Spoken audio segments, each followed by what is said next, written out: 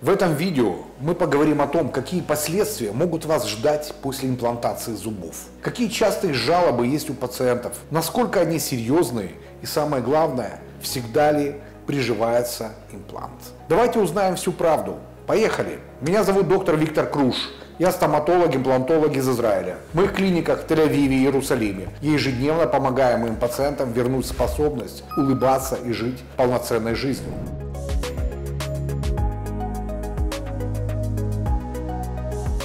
Почему выбирают имплантацию зубов? Имплантация зубов – это хирургическая процедура, при которой искусственные корни зубов вставляют в костную ткань челюсти, после чего на них устанавливают зубные коронки и мосты. Это может быть предпочтительным методом во многих ситуациях по нескольким причинам. Первое – это эстетика. Импланты зубов выглядят и воспринимаются практически как натуральные зубы. Это позволяет пациентам восстановить естественный внешний вид улыбки что может иметь большое значение для их самооценки и уверенности. Второй это функциональность. Импланты обеспечивают превосходную функциональность при жевании и разговоре. Они намного надежнее и устойчивее, чем съемные протезы и позволяют пациентам комфортно наслаждаться пищей. Третий – это предотвращение деформации. После потери зуба костная ткань челюсти начинает атрофироваться. Имплантация помогает сохранить костную массу и структуру, предотвращая деформации челюсти и, соответственно, лица. Четвертый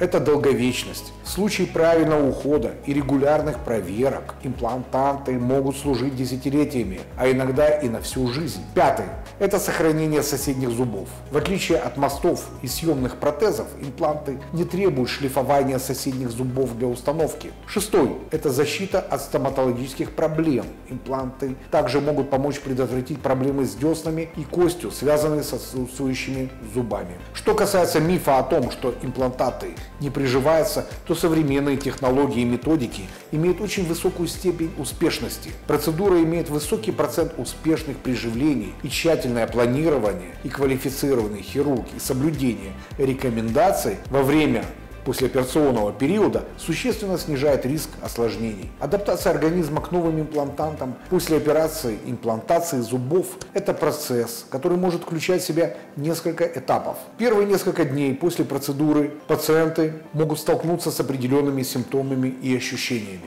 Первая проблема это опухание и дискомфорт после хирургического вмешательства. И травмирование слизистой ткани начинается процесс заживления. Это может привести к припухлости и небольшим болям в области операции. Отек – это естественная реакция организма на травму, вызванную хирургическим вмешательством. Боль обычно является следствием восстановительных процессов, связанных с заживлением. Дискомфорт может также возникнуть из-за манипуляции челюстью во время операции. Вторая проблема – это слабость и утомляемость, поскольку организму требуется дополнительная энергия для заживления и ремоделирования тканей, пациенты могут ощущать усталость и общую слабость. Третья проблема – это ограниченная функциональность. Первые дни после операции рекомендуется ограничить нагрузку в области имплантации. Это может означать временные ограничения в питании, мягкая пища, избегание некоторой активности, которые могут оказывать давление на челюсть. Постепенно организм начинает адаптироваться к присутствию новых имплантов. Со временем припухлость начинает снижаться, а болевые ощущения уменьшаются.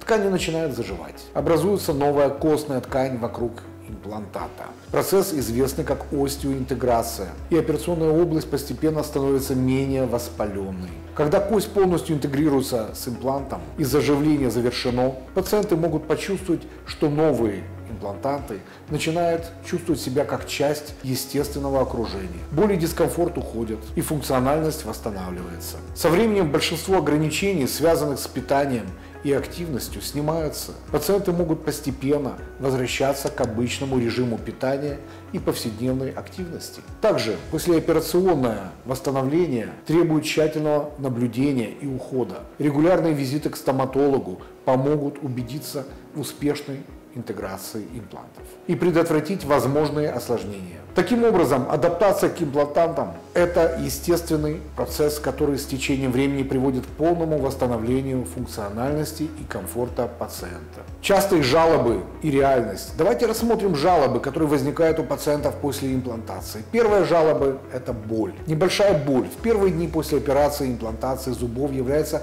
нормальная реакция организма на хирургическое вмешательство. В процессе заживления происходит воспаление, которое может вызвать дискомфорт. Обычно боль начинает уменьшаться в течение первых нескольких дней, по мере того, как ткани заживают. Рекомендуется принимать прописанные врачом анальгетики и придерживаться указаний врача по уходу за раной. Если боль слишком интенсивная и не уменьшается со временем, важно связаться с вашим врачом для консультации. Вторая жалоба – изменение вкусовых ощущений и нарушение проприорецепции. Восстановление нервных связей после операции может привести к временным изменениям восприятия вкуса. Вкусовые рецепторы нуждаются во времени, чтобы адаптироваться к новой ситуации. Это может вызвать незначительные изменения в ощущении вкуса. Однако в большинстве случаев нормальные вкусовые ощущения возвращаются в течение нескольких недель или месяцев по мере заживления и адаптации. Третья жалоба – ощущение чужеродного тела.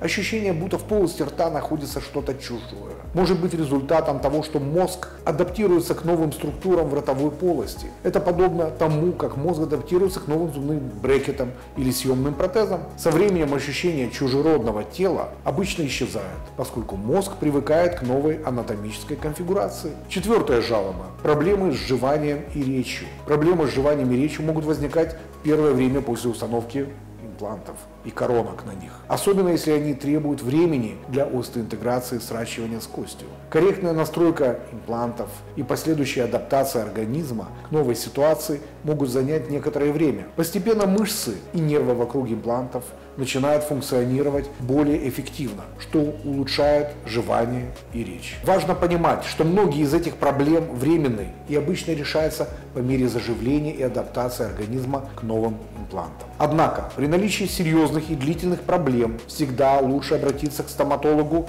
или хирургу для профессиональной консультации и рекомендаций. Большинство жалоб – это обычные процессы, которые необходимы вашему организму для адаптации после операции. Но иногда могут появиться и действительно ужасные симптомы, если была некачественно выполнена операция, такие как парестезия, потери чувствительности при повреждении нижнечелюстного нерва, как правило, на нижней челюсти, и инфраорбитального отверстия на верхней челюсти. Перфорация гайморовых полостей приводит к острому и хроническому синуситу с угрозой распространения инфекции на лобные пазухи и поражения головного мозга, развитию энцефалита. При установке скуловых имплантантов, повреждение орбиты и вхождение туда имплантов, что может привести к частичной или полной потере зрения. В своей клинике мы провели уже несколько тысяч операций, которые прошли успешно. Поэтому, чтобы быть спокойными за свои зубы, вы всегда можете обратиться к нам. Вы можете выбрать два типа консультации. Платную, где вы получите подробный план лечения, и бесплатную, где я рассмотрю вашу ситуацию и дам свое предварительное мнение. Мои клиники в Тель-Авиве Иерусалиме я и моя команда заботимся о том, чтобы пациент мог чувствовать себя комфортно, при этом получать сервис достойного качества. Я специализируюсь на имплантации зубов и рассматриваю каждого пациента как отдельный проект, подбирая ему персональный и самый необходимый план лечения и протезирования. Наша клиника в Тель-Авиве находится в самом центре, и вы при желании можете прилететь на 3-4 дня, чтобы решить все вопросы, связанные с имплантацией. Если вам интересна имплантация, вы можете прилететь в Израиль, пришлите мне свой панорамный снимок снимок. И я предоставлю вам план лечения и протезирования. Ссылка находится под этим роликом, закрепленном комментарии и описании к этому ролику. Симптомы, при которых стоит обратиться к врачу. После операции имплантации зубов важно следить за своим здоровьем и внимательно реагировать на любые симптомы. В некоторых случаях определенные симптомы могут сигнализировать о возможных осложнениях или проблемах. Вот некоторые из таких симптомов, при которых следует обязательно обратиться к врачу. Первый. Интенсивная боль. Хотя небольшая боль в первые дни после операции является нормальной, интенсивные или усиливающие боли могут указывать на развитие инфекции, повреждение анатомических структур при некорректной установке импланта или другие осложнения. Второе. Сильная припухлость, сильный отек. Если опухание продолжает увеличиваться и не уменьшается после нескольких дней, это может говорить о воспалительных процессах и других более сложных проблемах. Третий. Высокая температура, лихорадка. И повышенная температура тела могут свидетельствовать о инфекции. Это требует немедленного вмешательства врача. Четвертое. Сильное кровотечение. Если кровотечение из раны не удается остановить или оно продолжается в течение длительного времени, необходимо обратиться к врачу. Пятое. Постоянное или ухудшающееся ощущение чужеродного тела. Если ощущение чужеродного тела в полости рта не исчезает со временем или даже усиливается, это может потребовать оценки специалиста. Шестое.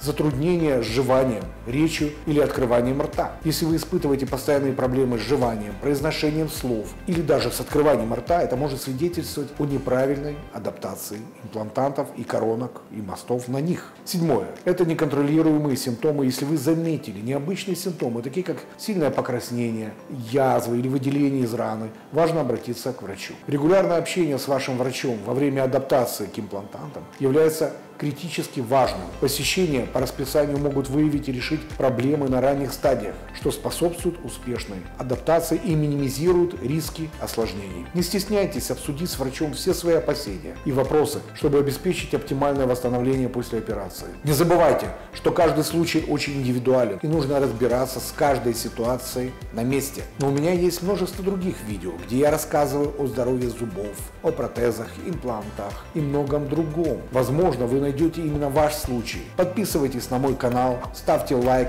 если вам понравилось это видео. Будьте здоровы и улыбайтесь чаще. До встречи в следующих видео.